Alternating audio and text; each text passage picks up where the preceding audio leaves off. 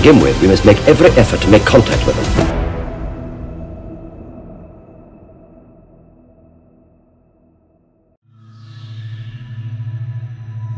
In 1972, BBC writer Malcolm Hulke created the Sea Devils for Jon Pertwee's Doctor Who.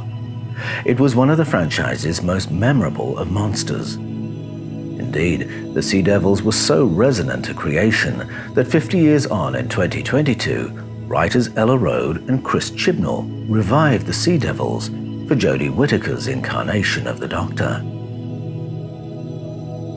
Malcolm Hulke's original storyline was intended as a sequel to his previous Doctor Who series, Doctor Who and the Silurians.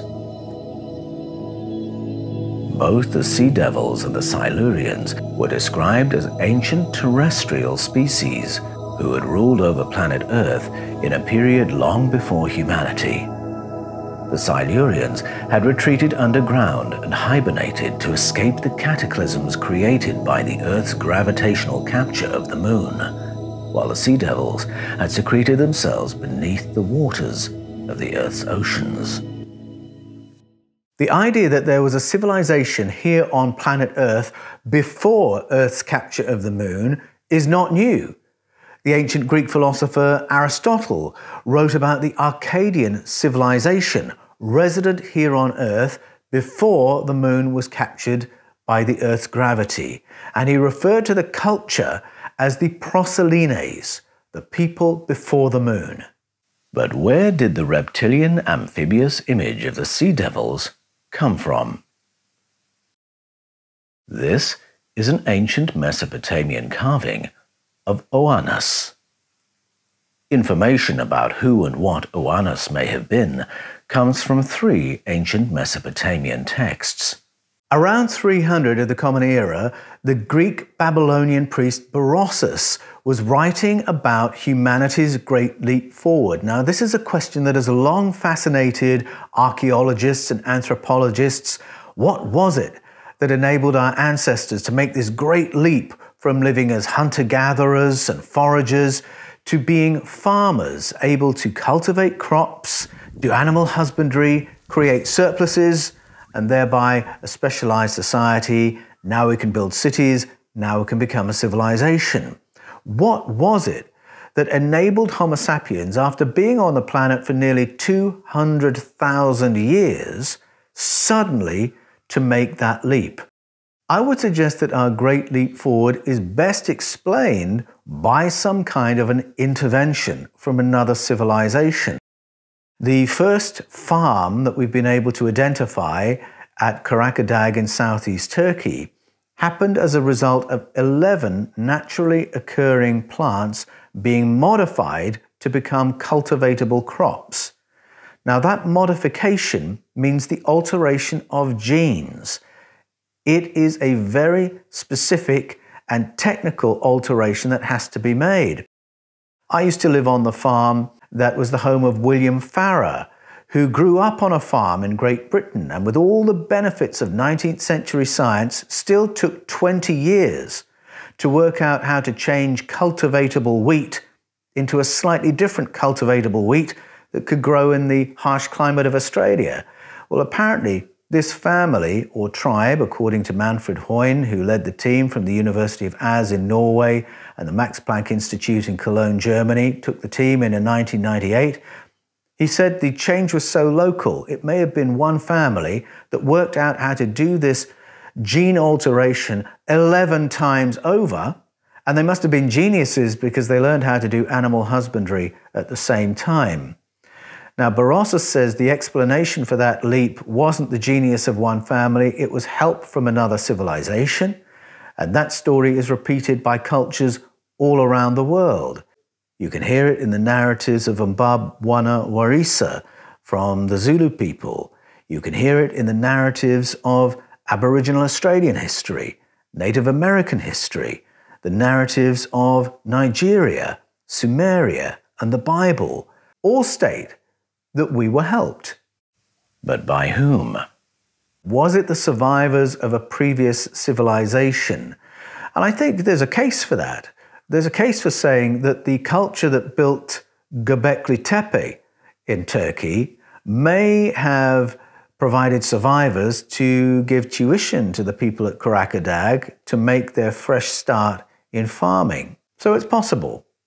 But it's a big question. Were these helpers around the world the human survivors of a previous human civilization, or were they somebody else from somewhere else? The Greek Babylonian priest had an explanation. He told the story of ancient visitors who came to our ancestors and gave us the tutelage we needed in order to make that change. He spoke about a being called Oannes and others that followed him called the Apkallu. Researchers in the vein of Graham Hancock suggest this ancient tuition was given by other human beings, the survivors of previous cultures, the remnant of an earlier civilization. But were the Apkallu human? Well, not by the description that Oannes gave. He described Oannes as an extraordinary monster first witnessed on the shores of the Red Sea. And this is what he wrote Its entire body appeared like that of a fish, and underneath the head was a second one, like that of a man. His appearance is still remembered and depicted to this day. This being taught people writing, geometry, science, and technology of all kinds, the civil engineering for city building, legal systems. He taught how to cultivate grains and harvest fruits. In short, he provided everything that constitutes the marks of a civilization. Every sunset, the monster would return into the sea, where it lived under the waves, being amphibious. Later, seven similar beings appeared. Their role was to manage the affairs of earth according to plans made in the sky. Now, that's a very curious note, linking Oannes and the Apkallu with authorities in the sky, there to manage Project Earth. I would suggest that a monster is not the natural language to reach for when describing another human being, associated with advancement, with authorities in the sky, I think there are some dots we can join here. And that physical appearance, he said, was so striking, it is remembered and depicted to this day. And so when we look at the ancient carvings of Oannes and the Apkallu, we are told that these are carvings made to show us what the monsters looked like. Now, Berossus isn't the only source of that information from the ancient Sumerian based cultures. We have another text Adapa, the purification priest of Eridu, the one who was taken up into the sky. And so we've got an explanation of these strange non human entities, I would suggest from that description, from an abductee. And so the plot thickens. Why is the management of Project Earth related to plans made in the sky? And where exactly in the sky? A clue to this question is offered by a culture resident in Mali, West Africa. The Dogon people of Mali, West Africa have roots in ancient Egypt, but for centuries their home has been Mali,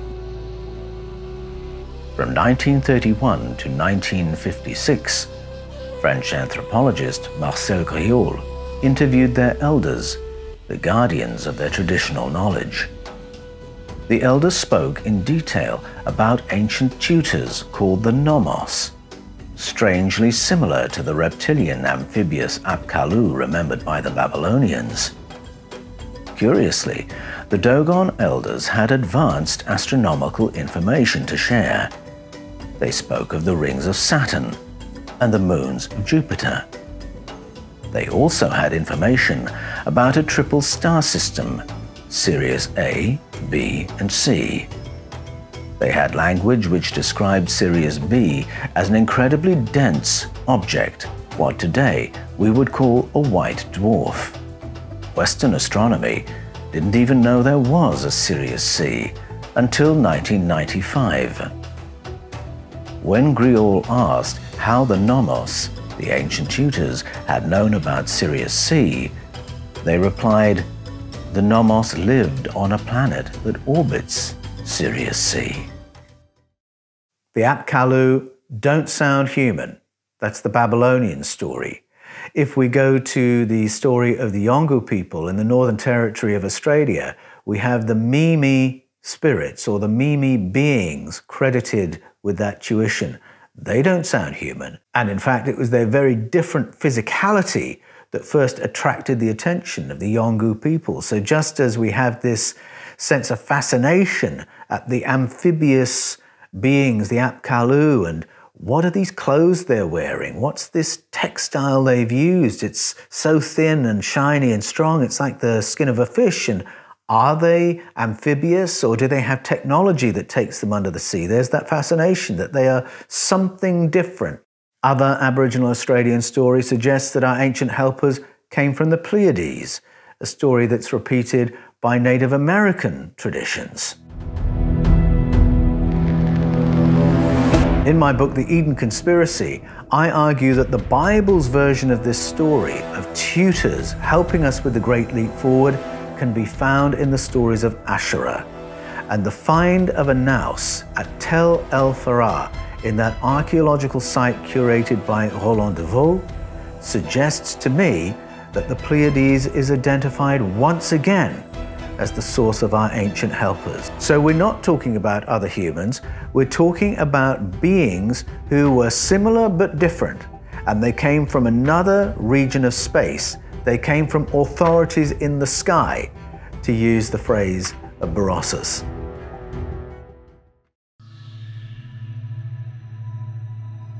The ancient Hebrew scriptures speak of powerful beings who interacted with our ancestors in the deep past.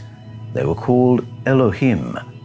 The names included El Elyon, El Shaddai, Yahweh, El of Ekron, El of Egypt, El of the Philistines, Dagon, Baal, and Asherah. Before the 8th century BCE, the Bible was curating a fascinating library of stories about paleocontact and the story of beings who came and taught our ancestors how to make that great leap forward into agriculture and city building, that that story filled its pages. We have beings such as Asherah, and we also have the Philistine recollection of those tutors in the figure of Dagon. Dagon was a reptilian, amphibious, semi aquatic creature who sounds rather similar once you've read the stories about Oannes and the Apkallu. I think we've got a few pieces of information there. The Apkallu were not human. They didn't dress like the locals. They didn't look like the locals.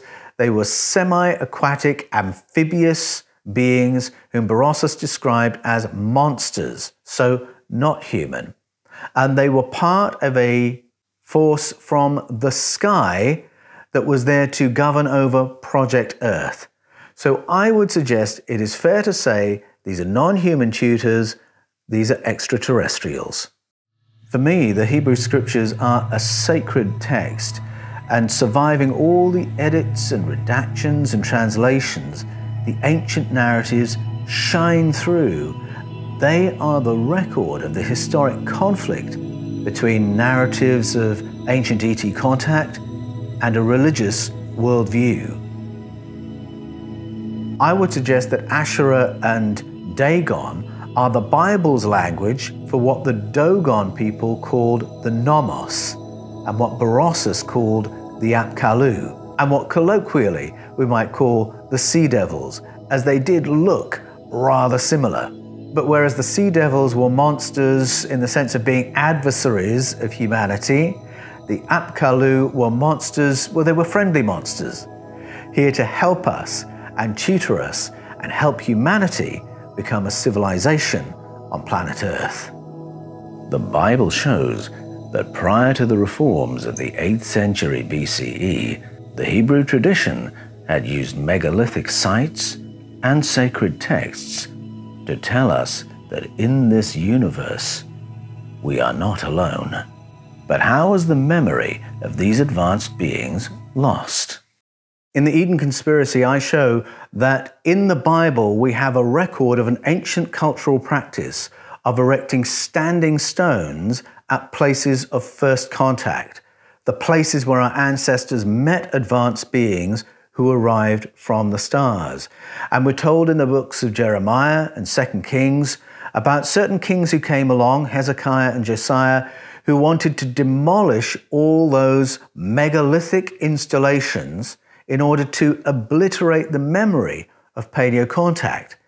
And yet the Bible records that whole process so that we're forced to remember that before the 8th century BCE, the Bible spoke about these interventions to progress humanity on its path towards civilization.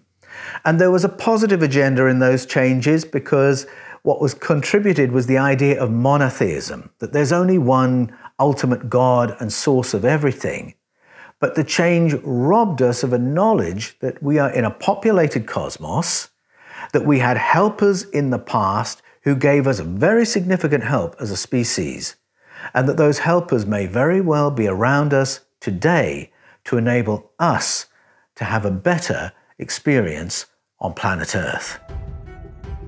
When I tell people my work is in Bible translation, some people say, well, that's a bit of a rarefied topic, isn't it? But the implications of getting the translation wrong are so huge. And once you start reading the text through the lens of paleo contact, a whole education emerges. An education to do with who we are, where we came from, what is going on on planet Earth because our ancestors believed we cannot have a full understanding of what happens on this planet until we understand that there is a non human layer to our story and a non human layer to human governance. And I find it interesting that ideas like the Apkallu, like the Nommos, like Dagon, like Asherah are so resonant that we can't forget them. The ideas keep coming back and being repeated, whether it's Berossus in 300 of the Common Era or Malcolm Hulke writing in the 1970s.